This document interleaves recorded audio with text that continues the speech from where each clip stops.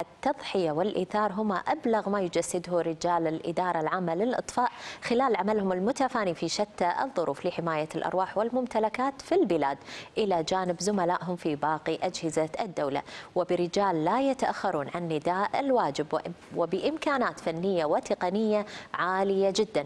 تسعى دائما الإدارة العامة للإطفاء بكامل رجالها وعتادها دوما إلى تسخير كافة جهودها ووضعها تحت تصرف أجهزة ووزارات الدولة وخاصة وزارة الصحة التي تدير الآن بشكل كامل آه، هذه الخطة لمكافحة فيروس كورونا المستجد كوفيد 19 والحديث أكثر حول هذا الموضوع يسعدنا أن ينضم إلينا في الاستديو النقيب رضا السلمان مسؤول شبكات التواصل الاجتماعي في الإدارة العامة للإطفاء.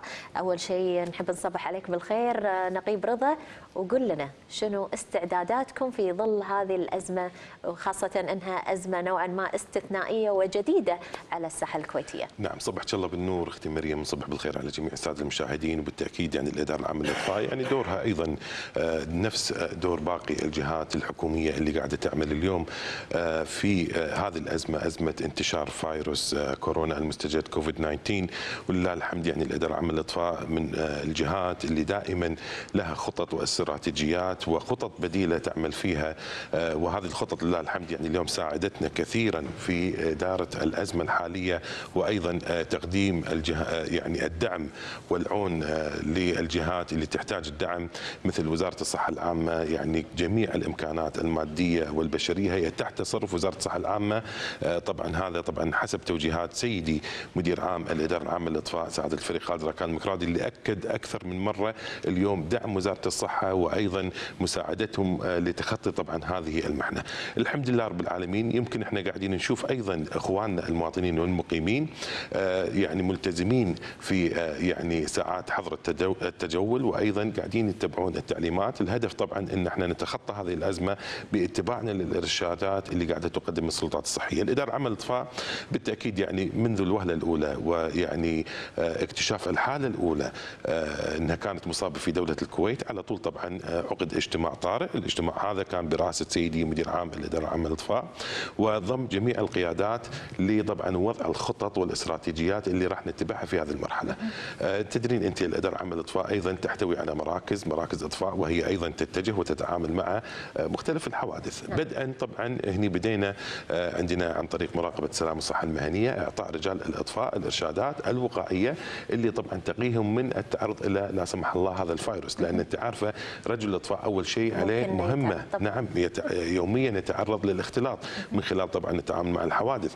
هني أعطيناهم أيضا بعض البدل الخاصة للوقايه طبعا. هذه طبعا البدلة تستخدم مرة واحدة وهي بدلة Type C بالإضافة لأن أيضا لبس رجل الأطفاء ولله الحمد يعني هذا أيضا هو عازل من الفيروسات. آه نعم. هذه طبعا هني خطة سير المراكز. عندنا أيضا بالإضافة إلى أن أيضا وضعنا خطط هل بديلة. هناك عفوا على المقاطعة هل هناك أيضا فحوص تجرونها دورية على منتسبين الاداره العامه للاطفاء للتأكد يعني أيضا من عدم إصابتهم؟ نعم بالفعل. طبعا تم توزيع جميع الأجهزة الخاصة بقياس الحرارة. هذه طبعا الآن موجودة في جميع مراكز الكويت. بالإضافة للادارات المعنية المساندة طبعا لقطاع المكافحة.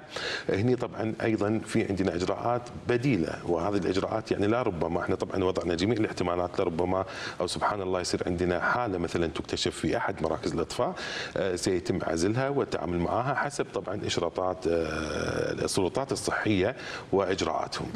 هذا الحمد لله يعني وضع وتم يعني فعلا تطبيق على أرض الواقع في جميع مراكز الإطفاء. الفحص طبعا بالتأكيد أيضا هناك أيضا صدرت أوامر بعدم طبعا اليوم يعني استقبال أي شخص من خارج مراكز الإطفاء ويدخل داخل مراكز الإطفاء كإجراء احترازي ووقائي. لأن أنت عارف اليوم هذا الفيروس ينتقل بالمخالطة فإحنا اليوم أخذنا جميع الإجراءات الوقائية لأن مراكز الإطفاء هي اليوم عصب الإدارة العامه للاطفاء هي اللي اليوم قاعدة تقدم الحماية اللازمة للأرواح والممتلكات في حالة طبعا يعني حدوث حوادث لهم أو وقوع الحوادث فهذه الإجراءات اللي اتخذناها في هذه المرحلة ولله الحمد يعني حسب هذه الخطة الخطة ناجحة وجميع المراكز على هبة الاستعداد على مدار الساعة وقاعدة تتعامل مع جميع البلاغات. خلال هذه الأزمة أيضا تم إطلاق حملة إذا كنت تحب الكويت اقعد في البيت نعم. من خلال قعدة المواطنين والمقيمين خلال هذه الفترة في منازلهم هل هناك حالات أكثر سجلتها من بلاغات الاداره العامه للاطفاء؟ لا لله الحمد يعني إحنا حسب يعني اليوم إحصائية إدارة العمليات المركزية الحوادث لله الحمد في يعني اليوم انخفاض. هذا الشيء قاعد يلاحظ من خلال طبعا غرف العمليات عندنا. ممكن عندنا في بعض حوادث الحرائق شوية ارتفعت عن معدلها. فإحنا اليوم قاعدين نتكلم اليوم عن نسبة وتناسب بقاء الناس في المنازل. هني أيضا الاشتراطات الوقائية اللي المفروض الآن تطبق عندهم في المنازل. هذه نتمنى شوية هني من أولياء الأمور إنهم يحرصون عليها. خصوصا. في هذه الفترة صح. بقاء الأسرة بكاملها في المنزل آه، واستخدام الأجهزة الكهربائية هذا أيضا قد يتسبب في إندلاع حرائق ووقوع حرائق عندنا إحنا يمكن أيضا أمر مهم يمكن اليوم استخدام الناس قاعدة تستخدم المعقمات وتستخدمها باستمرار نعم. هذه المعقمات هي طبعا صحيح إنها تقوم بالتعقيم وغيرها للوقايه طبعا من آه، الفيروس لكن في أمر آخر طبعا بعض ربات المنازل آه، يضعون هذا الجل أو المعقم على اليد ويذهبون مباشرة إلى آه، الطباخ أو الشوله فهني صارت عندنا حالتين حريق باليد ولكن الحمد لله كان حريق بسيط بسبب إن المادة كانت رطبة. رطبة نعم هذه المادة قابلة للاشتعال لأن فيها طبعا مادة الكحول. فهني نتمنى من من يستخدم هذا الجل المعقم ان يتركه حتى ينشف ولا يذهب إلى أي مصدر قابل للاشتعال خصوصا الإخوان المدخنين. يعني قد هو يضع هذا المعقم على يده ومن ثم يقوم بإشعال آه، السيجارة. وهني طبعا ممكن يتعرض إلى حادث حريق. فحبينا ننوه أيضا على هذه النقطة. إضافة إلى يمكن أيضا اليوم آه، بقاء الأحداث والأطفال بالذات في المنازل هذا أيضا يمكن آه، قاعد يزيد شوية من حوادث يعني بعض الحوادث الخاصة فيهم مثل قفل الأبواب العبث في بعض الأجهزة. يعني يوم أمس كان في هناك حادث أحد الأطفال قامت بالعبث في الغسالة ومن ثم انحشرت داخل الغسالة والحمد لله آه، اتجهت عندنا فرقة الإطفاء وقامت بإخراجها من دون تعرضها لأي إصابات الحمد لله. فاليوم هذه الحوادث أو هذه آه، الإجراءات المفروض اليوم تطبق عندنا بالمنزل. أولياء الأمور المفروض أيضا يكثفون رقابتهم شوية على أبنائهم لتفاديا لبعض الحوادث اللي قاعدة تصير بسبب طبعا اليوم آه، الأجهزة وغيرها من أمور موجودة عندنا بالمنزل في بعض الأدوات الخطره أيضا. نعم، ماذا عن الخطط التنفيذية بخصوص صهاريج المياه اللي طبعا تم البدء في العمل فيها لتعقيم وتطهير آه، الشوارع؟ نعم. نعم. طبعا آه، صهاريج المياه أنت عارف الإدارة العامه للاطفاء تمتلك عدد واسع وكبير من صهاريج المياه فكان في هناك توجه آه، التوجه هذا صناعة التناكر هذه أو الصهاريج محليا عندنا في ورشة الإدارة العامه للاطفاء تم وضع عليها أجهزة للرش وفعلا عدد طبعا من هذه الصهاريج جهزت لله الحمد وفعلا تم استخدامها في مطار الكويت الدولي لرش الساحات بعد حضور القادمين إلى دولة الكويت وهذا الإجراء أيضا آه، طبق آه، عندنا. آه، وهذه الخدمة أيضا كذلك وضعناها متاحة تحت تصرف وزارة الصحة العامة في حال احتاجت إنها تطهر الطرق أو الساحات العامة لأن هذه الصهاريج ولله الحمد يعني تم تجهيزها بأيدي فنية كويتية. قاعد نشوفها ورانا بعد على الشاشة. نعم مثل ما قاعدين إحنا نشوف هذا طبعا في مطار الكويت الدولي تم تطبيقها فعليا يعني على أرض الواقع ولله الحمد يعني قامت بهذه المهمة تطهر الساحات اللي موجودة هناك من خلال استخدام طبعا مواد خاصة في التعقيم وغيرها من امور آه، قاعدة تستخدم لتطهير الساحات في مطار الكويت الدولي. طبعا أنا خلال هذه الأزمة من المتابعين لجميع آه، حسابات آه، الجهات الرسمية في مواقع التواصل الاجتماعي وطبعا الإدارة العامة للإطفاء إحدى هذه الجهات. قريت تقريبا قبل كم ساعة إن لكم تعاون جديد مع وزارة الصحة تكلمنا أكثر عنه بخصوص الصيدليات. نعم مثل ما ذكرت لك أنا طبعا حسب توجهات سيدي آه، سعادة مدير عام الإدارة العامه للاطفاء وأيضا آه، بتوجيهات مباشرة من سيدي معالي نائب آه، رئيس مجلس الوزراء وزير الداخلية وزير الدولة شؤون مجلس الوزراء أنس خالد صالح. قامت الإدارة العامة للأطفاء بتقديم خدمة توزيع الأدوية على المرضى اللي هم طبعا أصحاب الأمراض المزمنة حيث عقد اجتماع الاجتماع هذا طبعا مع كبار المسؤولين في وزارة الصحة العامة. انت عارفة الآن وزارة الصحة العامة يعني جزاهم الله خير قاعدين. هم الآن في الصفوف الأمامية. الأزمة هذه قاعدين يتعاملون معها بحرفية تامة. فالجهود الملقاة على عاتقهم كبيرة جدا. إحنا اليوم دورنا كرجال اطفاء أيضا عندنا أنت عارفة آه، الكثير من الضباط والضباط الصف آه، الإداريين. الآن هم يعتبرون في عطلة ويعني دائما رجال الاطفاء آه، تجدينهم سباقين لتقديم أي مساعدة يحتاجها وطننا الغالي الكويت. فيعني أيضا هذا الموضوع الحمد لله إحنا شاركنا بمبادرة آه، بالتعاون طبعا مع وزارة الصحة العامة بأخذ مسؤولية توزيع الأدوية إنزين من الصيدليات المركزية البالغ عددها سبع صيدليات مركزية وتوزيع هذه الأدوية لجميع آه، مناطق دولة الكويت. عن طريق طبعا ضباطنا وضباط الصف اللي راح يكونون إن شاء الله يقومون بهذه المهمة من اليوم إن شاء الله ستبدأ. طبعا وفق الآلية اللي وضعتها وزارة الصحة العامة وزارة الصحة العامة وضعت آلية آه، أرقام هواتف الصيدليات بإمكان المواطن إنزين إنه يدخل على طبعا آه، ان يتصل على هذا الهاتف أو يبعث رسالة من خلال خدمة الواتساب ويقوم طبعا بإرسال رقم الملف ورقم ورقم المدني وبالإضافة إلى الأدوية اللي محتاجها من خلال الوصفة الشهرية اللي يتم منحها لهم هني طبعا عندنا آه، الإدارة العامه للاطفاء أو ضباط الإدارة العامه للاطفاء وضباط الصف سيقومون بالذهاب إلى الصيدلية المركزية وأخذ أيضا موظف من وزارة الصحة العامة ويقومون بإيصال هذه الأدوية إلى منزل المواطن أو المقيم. طبعا هني الأدوية بالإضافة إلى أن طبعا الموظف آه، الخاص بوزارة الصحة معاه نموذج. المريض يقوم بالتوقيع على هذا النموذج وأيضا إعطاء بعض الإرشادات الخاصة في هذه الأدوية.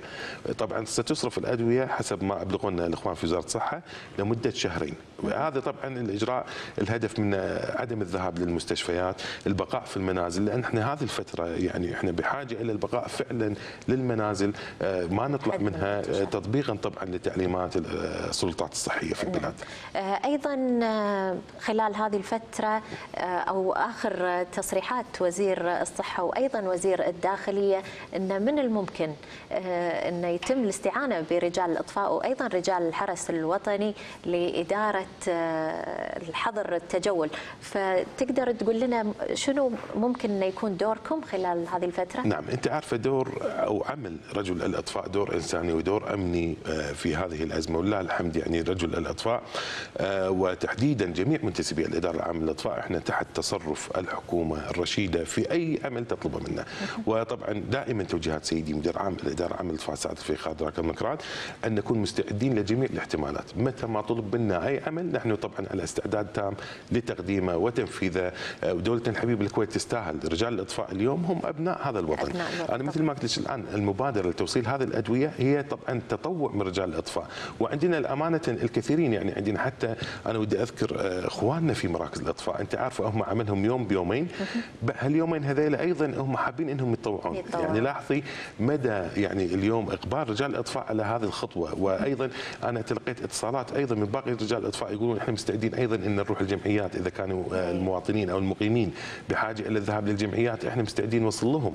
ففي مبادرات كثيرة. ولكن أنت عارفة هذا الآن يعني الوضع إحنا بحاجة إلى أكثر تنظيم أكثر اتباعا للإرشادات الصحية لأن إحنا الوضع الآن ولله الحمد يعني حسب الإجراءات اللي وضعتها السلطات الصحية لله الحمد إجراءات متقدمة جدا والتعامل قاعد يتم معها بحرفية عالية. نعم مقبلين على فترة صيف وراح تبدي خلال الفترة القادمة درجات الحرارة ترتفع نوعا ما صحيح. والمعروف إن دور رجال الأطفاء آه، خلال فترات الصيف نوعا ما البلاغات تزيد صح فشلون راح تقدرون توازنون إن شاء الله بين آه، عملكم آه، لمواجهة فيروس كورونا المستجد وأيضا بلاغات الصيف. لله الحمد. إحنا مستعدين في جميع الأوقات يعني, يعني هل هناك خطة؟ نعم نعم. طبعا إحنا دائما نضع الخطط المسبقة لجميع الاحتمالات. هناك طبعا خطة عندنا للمواسم والخطة هذه قاعدين نعمل فيها طبعا حسب الإجراءات المتبعة في هذه الخطة. والخطة وزعت على القطاعات المعنية مثل عندنا الآن أهم قطاعين هم قطاع المكافحة وقطاع الوقاية، قطاع الوقاية قاعد يقوم بدوره بالتفتيش على الأماكن العامة ووضع الاشتراطات التي تتناسب معها. يمكن أنا ما ذكرت لكم أيضا إن المحاجر ويعني جميع الخيام التي وضعت الآن في مطار الكويت الدولي أيضا تم فحصها من قبل الإدارة العامة للإطفاء وتطبيق الاشتراطات الوقائية فيها بالإضافة إلى المراكز. وهناك أيضا عندنا نقاط للإطفاء الآن متواجدة في مطار الكويت الدولي طبعا تاهبا واستعدادا لاي طارئ لا سمح الله. خطتنا طبعا لفصل الصيف واستعداداتنا الان آه، تلقي البلاغات. لله الحمد هذه موجودة وإحنا عارفين كل سنة آه، نفس الطريقة. إحنا مو ما هي شيء جديد علينا آه، وإنما طبعا هناك بعض التغييرات التي تقع مثل الآن أزمة فيروس كورونا المستجد والتي الآن قاعدة تتعامل تتعامل معها. أغلب الجهات الحكومية هذه يعني الحمد لله وضعت لها الخطة المناسبة لها بالتعاون أيضا إذا كذلك مع الجهات الحكومية وأيضا وخططهم اللي هم وضعوها للتصدي لمثل هذه الأزمة. الآن الحمد لله الإدارة العامه للاطفاء قاعدة تعمل طبعا حسب الخطة اللي موجودة عندنا ونطمئن إخواننا المشاهدين. نقول لهم الإدارة العامه للاطفاء لله الحمد هي تعمل بكامل آه، يعني طاقتها آه، البشرية ويعني أيضا الآليات والمعدات لله الحمد. أيضا قاعدة تساعد رجال الإطفاء بالتعامل مع مختلف الحوادث بس كل اللي نرجو منهم الوقاية الذاتية. الآن هذه فرصة بما أن إحنا الآن يعني الأسرة جالسة في المنزل أثناء فترة الحظر الجزئي نتمنى هنا أيضا أن يتم تبادل الأحاديث الخاصة بالوقاية. تبادل أيضا الأحاديث الخاصة باليوم. الوقاية من الحرائق وتركيب أيضا آه، جهاز كاشف الدخان في المنزل. هذا جدا مهم. هذا الجهاز يعني اليوم يعطينا صوت إنذار وينبه الأسرة في بداية اندلاع الحريق أو وقوع الخطر خصوصا فترة النوم. الآن يمكن الأطفال قاعدين آه، في عطلة طويلة بما أن الآن تم تعطيل الدراسة طبعا للوقاية من فيروس كورونا أو وباء كورونا. فايضا هنا نتمنى إعطائهم الأمور المفيدة اللي تفيدهم آه، في حياتهم العملية وكذلك نحاول نبين لهم شنو خطورة استخدام الأجهزة الكهربائية بشكل آه، في ضغط على النقاط الكهربائية مما يؤدي إلى اندلاع. زيادة الأحمال طبعا. بالحديث أيضا عن الإجراءات الاحترازية الوقائية فما يحدث في منطقة الشويخ الصناعية قد يكون بعيد كل البعد عن الالتزام بمثل هذه الإجراءات.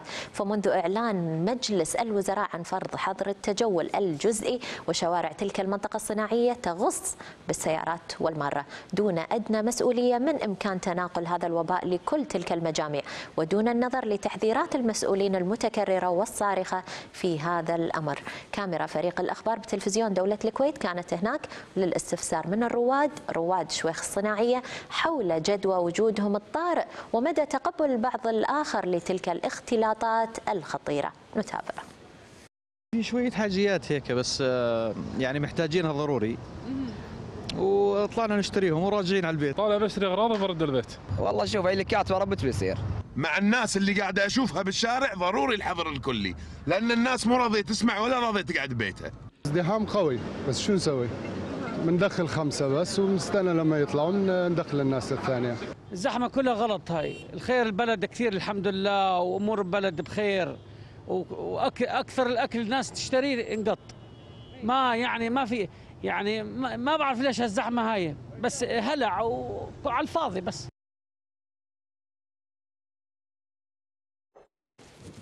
عودة إلى ضيفنا في الاستديو النقيب رضا السلمان مسؤول التواصل الاجتماعي في الإدارة العامة للإطفاء. آه، بعد مشاهدتنا لهذا التقرير آه، خبرنا كيف وجدت المشهد منذ قليل في شويخ الصناعية. والله للأسف يعني اللي قاعد يصير من آه، بعض الأخوة المواطنين المقيمين ذهابهم والتجمع بهذا الشكل بالتأكيد يعني في خطورة على حياتهم. اليوم السلطات الصحية لما وضعت مثل هذه التعليمات اليوم تم تعطيل الأعمال في جميع المؤسسات الحكومية والجهات الخاصة المطاعم أيضا تم إغلاق المنتزهات. ما هو الهدف؟ الهدف هو وقاية الناس وعدم تعرضهم لهذا الفيروس اللي فعلا هو الآن انتشر بسرعة كبيرة في مختلف دول العالم.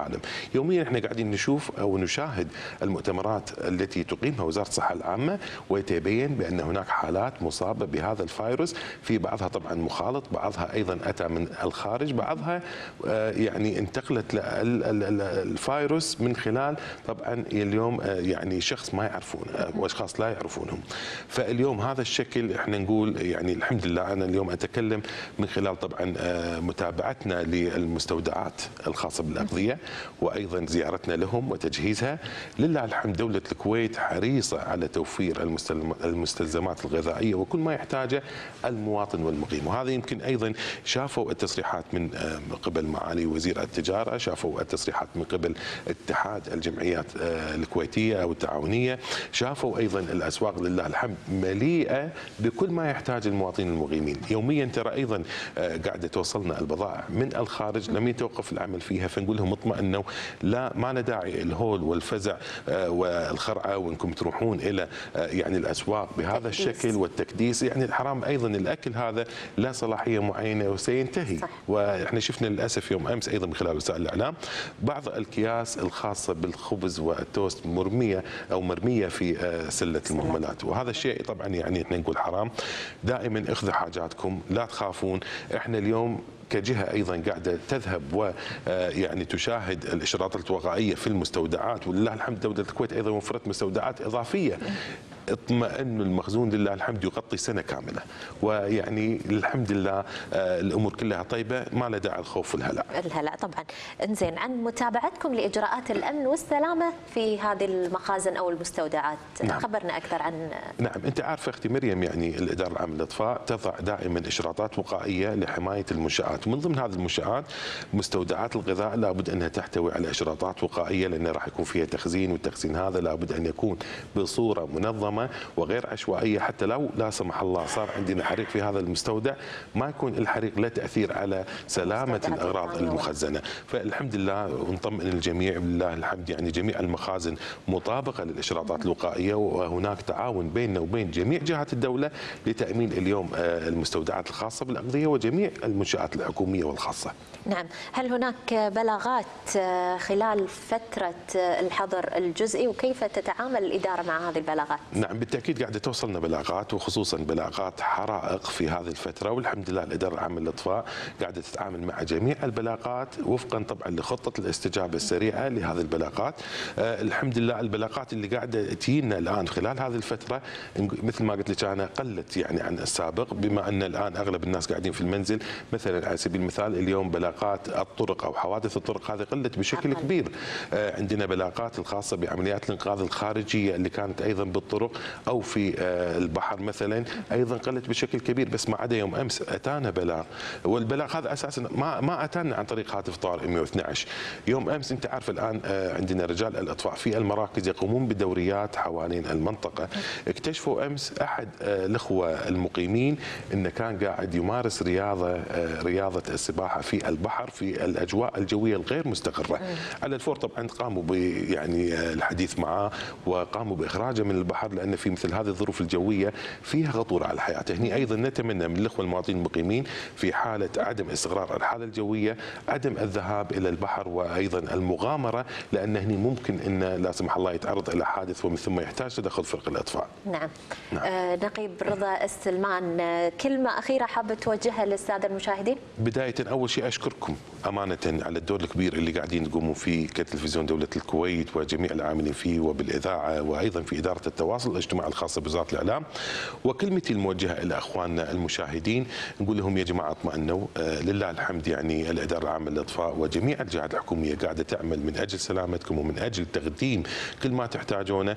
آه، الأمور كلها بخير لا أحد يتزاحم على الأسواق المركزية. الحمد لله الآن أصبح هناك تنظيم وأيضا بهذه المناسبة كذلك نشكر يمكن المتطوعين اللي قاعدين يعملون صفا إلى صف آه، جميع الجهات الحكومية لمواجهة هذه الأزمة وهذه الجائحة اللي إن شاء الله الله سبحانه وتعالى أن تزول عن جميع إن شاء الله بلدان العالم. نعم النقيب رضا السلمان مسؤول شبكات التواصل الاجتماعي في الإدارة العامة للإطفاء. شكرا جزيلا لك. وأيضا الشكر الموصول لجميع العاملين في الإدارة العامة للإطفاء على جهودهم اللامحدودة اللي قاعد يقومون فيها خلال هذه الفترة وأيضا خلال الفترة إن شاء الله القادمة. شكرا جزيلا لك.